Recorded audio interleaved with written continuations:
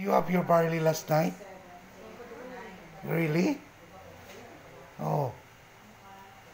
You like barley? How does it taste? Is it, does it taste cold? Huh? You like it? Oh. Now what what do you have right now? What's that? Oh, it's a juice. And the coffee inside. Okay? So, um, barley in powder uh, in sachet and in canister. So, show, show it to me. No. The canister and uh, one in the box is in the sachet. No? 30 sachets. Okay?